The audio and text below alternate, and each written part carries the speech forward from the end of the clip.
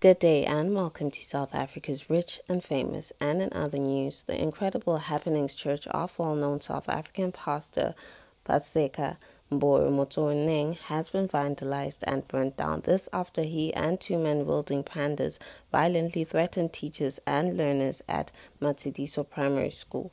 Police have confirmed that five suspects have been arrested in connection with the incident and are expected to appear in court on Wednesday.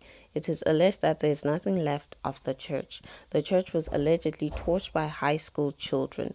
It is also reported that one congregate said that the pastor predicted this would happen. For more stories like these, kindly do keep subscribing to our YouTube channel at South Africa's Rich and Famous.